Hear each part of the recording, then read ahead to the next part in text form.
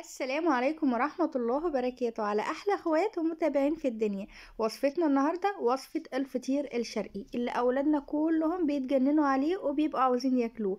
فبدل ما تروحي تشتريه بمبلغ قد كده عشر دقايق هتدخلي المطبخ وهتطلعي لهم بأحلى فطيرة شرقي وكمان بأسرار من الفطاطري نفسه ومن قلب محل الفطير نفسه. يعني من الآخر كده هتبقي أحسن من أحسن فطاطري. يلا بينا نسمي الله ونصلي على الرسول ونبدأ ونشوف إيه هي الطريقة. بس طبعا قبل ما نبدأ مننساش like و share للفيديو. أول حاجة معايا هنا نص كيلو من الدقيق الأبيض. دقيق طبعا عادي خالص متعدد الاستخدامات. هنزل عليه بمعلقة صغيرة من الملح.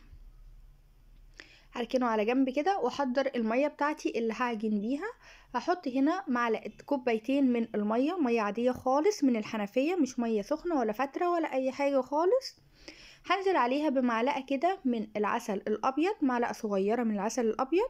أيوة هو ده البديل اللي هنعجن بيه النهاردة بدل السكر. يعني مش هنحط سكر في العجين هنحط بداله معلقة صغيرة من العسل الأبيض. وهنزل كمان بمعلقتين من الزيت النباتي. أي زيت نباتي يكون عندك بس أهم حاجة ما يكونش ليه ريحة. هدوب بقى العسل والزيت كده مع المية وهاجي بقى وأبدأ أعجن العجينة بتاعتي. هقلب بس الأول كده الملح اللي أنا كنت حاطاه على الوش. هقلبه مع الدقيق وبعد كده أبدأ أعجن في العجينة بتاعتي. طبعا هننزل بالمية بتاعتنا تدريجيا وواحدة واحدة مش هننزل بكمية المية كلها. طبعا لأن إحنا عارفين إن كل نوع دقيق بيختلف طبعا عن النوع التاني في مدى امتصاصه للسوائل فعلشان العجينة ما تشربش مننا كمية مية كتير ما تبقاش سايحة في إيدينا فليه وجع القلب ده كله؟ لأ إحنا نبدأ نعجن فيها واحدة واحدة وكل ما نلاقيها محتاجة مية نبدأ نحط لها مية. وآدي العجينة بتاعتي أهي لمت معايا خالص. يلا بينا بقى ننزل بيها على الرخامة ونخدم العجينة كويس. من أهم أسرار الفطير ومن أهم عوامل نجاح الفطير معانا إن العجينة بتاعته تكون مخدومة كويس جدا جدا في العجن. فيلا بقى شوفي أنت متغاظة من إيه أو متغاظة من مين وطلعي الغيظ بتاعك ده كله في العجينة. أهم حاجة نحصل في الآخر على عجينة طرية ملساء ناعمة جدا يعني. والعجينة تكون مخدومة. خدمتيها لله وللوطن كده أوكي. أنتي متغاظة من حد وعاوزة تطلعي غيظك طلعيه في العجين بتاعنا النهارده. وادي كده خلاص أهو وصلنا للي إحنا عاوزينه. العجينة بقت حلوة قوي طرية حلوة قوي قوي زي ما أنتوا شايفين كده ايديا نطفت أهي من العجين خالص أهو.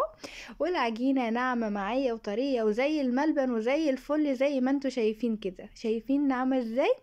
يلا بينا بقى هنلمها على بعضها كده ونحطها في البولة بتاعتنا ونسيبها حوالي عشر دقايق ترتاح قبل ما نبدأ نشكلها.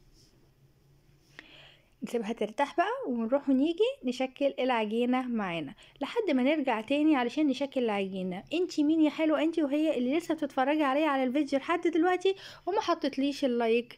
ففضلا مني كده like و share في الفيديو واستنونا لحد ما نرجع نشكل العجينة وكمان نعمل أحلى فطير معانا النهاردة. ورجعنا لكم اهو بعد العجينة ما ارتاحت شايفين بعد ما ارتاحت أكتر بقت عاملة إزاي؟ بقت ملبن أكتر وأكتر كمان. نجيب بقى المكان الحاجة اللي إحنا هن هنقطع عليها العجين بتاعنا ودهنة زيت صغننة خالص معلقة زيت صغيرة خالص كده ونبدأ بقى نفردها علشان نقطع أو نكور العجينة بتاعتي عليها. هبدأ أكور العجينة بتاعتي كورات صغننة جدا. أنا مش هعمل فطيرة كبيرة مرة واحدة. لا إحنا هنشوف دلوقتي مع بعض إحنا هنشكل العجين ده إزاي وهنشكل الفطير ده إزاي. بس من الآخر كده أنا عاوزة الكورات تكون صغنونة كده يعني قد البرتقانة البلدي الصغننة كده أو قد الليمونة الكبيرة شوية.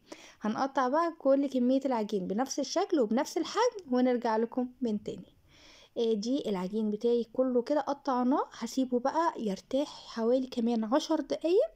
كل ما تريحي العجين أكتر كل ما العجين يساعدك في الفرد أكتر. وأروح بقى أحضر الحشوه بتاعتي. أنا هعملها النهارده بحشوة اللحمة المفرومة. معلقة سمن معلقة سمنة بلدي كده حلوة أو معلقة زيت زي ما انت عاوزة تحطي المادة الدهنية حطيها. بس طعم السمن البلدي طبعا بيفرق جدا جدا في أي نوع أكل إحنا بنعمله.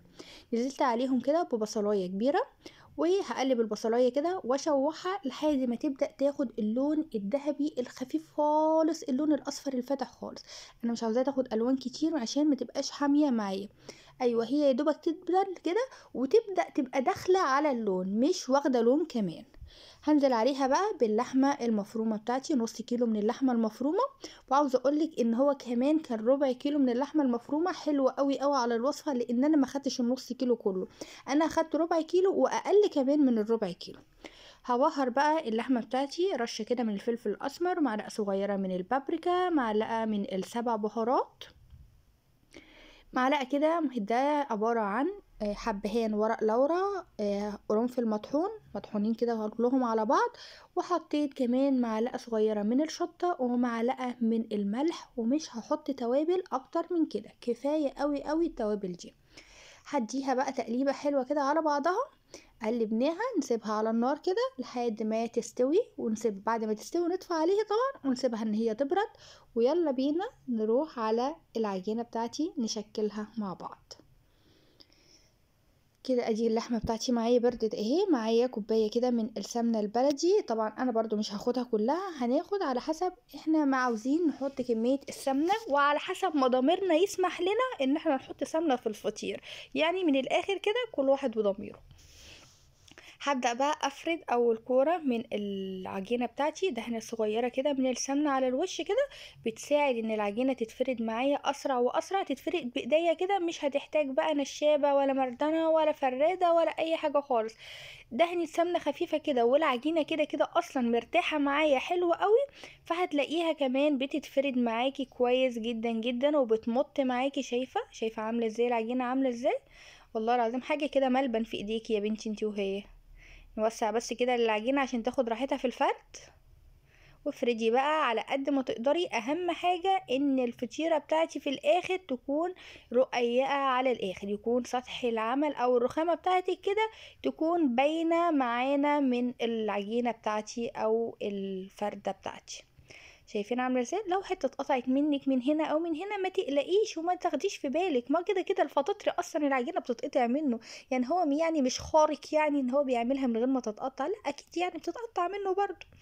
هديها بقى مسحة كده من السمنة البلدي معايا كده على الوش. وبرده زي ما قلت لك انتي وضميرك. عاوزة تكتري كتري. عاوزة تقللي قللي. أنا بدي مسحة خفيفة خالص. يعتبر أنا يعني ببقى هين عليا إن أنا كمان الفرشة ما تلمسش العجين. وأمسكها كده اطبقها يمين وشمال كده وهجيب بقى معلقة حلوة كده من اللحمة المفرومة بتاعتي وأحطها بقى في النص بتاع العجينة. شايفين؟ في أسهل ولا أبسط من كده؟ والله ما في أسهل ولا أبسط من كده. معلقة حلوة كده محترمة وكمان عاوزة طبقي على كده okay عاوزة كمان تديها حبة دلع من اللي اتمنع كده شوية جبنة موتزاريلا أو أي mix جبن مبشور okay برضو. ونروح مطبقينها من الناحية دي وبرضو نمسح مسحة سمنه كده ما علينا برضو وتطبيقة من الناحية دي ونلمها على بعض أي فتحة فيها كده طبعا عشان اللحمة المفرومة ما تطلعش منها. انت عارفة انت وهي اللحمة المفرومة بكام دلوقتي؟ هنركنها على جنب كده ونعمل واحدة كمان. أنا عاوزة الفطيرة بتاعتي من الأول إن هي تكون كبيرة. الفطيرة زي ما أنت كنت شايفة كده حجمها كان حلو. فطبعا اللي إحنا شفناه في ده إحنا مش هنعرف نعمل بالكور الصغنن اللي إحنا عملناه. بس إحنا علشان نسهل على نفسنا إحنا هنطبق كل واحدة والتانية ونحطها في قلبها زي ما أنت شايفة كده. يعني إحنا عملنا أول واحدة وفردت التانية ودي حطيتها في النص وطبقت عليها. ده ليه؟ علشان ندي للفطيرة بتاعتنا أكبر عدد من التوريقات يبقى مورق كده معانا وفي طبقات حلوة. وفي نفس الوقت ما يبقاش صعب عليكي إن انت تطبقيه من الأول. تبقى الواحده صغننة كده معاكي وتكون سهله معاكي في الفرد وفي التطبيق. ما تاخدش منك وقت ولا مجهود وفي نفس الوقت تطلعي في الآخر فطيرة كبيرة حلوة ومورقة كمان. ودي فردت كمان واحدة كده. وهنطبق برضو بنفس الطريقة. طبعا انت كنت عاوزة من الأول ان انت تعمليها كبيرة وعاوزة تشيلي وتحطي كده زي الفطاطري وتطيريها قدامك تقدري تعمليها بس أنا بعرف بس الناس اللي ما بتعرفش إن هي تفرد الفطير قوي ما بتعرفش تطبق ولا تورق الفطير كده في حاجة كده تكون سهلة وبسيطة عليهم وهم بيعملوا. أنا عملت كل أربع كور من اللي أنا عملتهم عملتهم فطيرة. تقدري تعملي تلاتة تقدري تعملي اتنين زي ما انت عاوزة وزي ما تكوني عاوزة عدد الطبقات بتاعتك عاملة إزاي والتوريقة عاملة إزاي. بس عاوزة اقولك علشان هي أصلا كان حجمها صغير من الأول فمش هتديكي طبقات ان هي تبقى طبقات كتيرة قوي وطبقات تقيلة قوي. لا أنا وريتها لك في اول الفيديو كانت عاملة إزاي طبقاتها مش كتيرة ومورقة برضو حلوة قوي والسمك بتاعها مش عالي قوي لأن إحنا كل ده إحنا مصغرينها من الأول.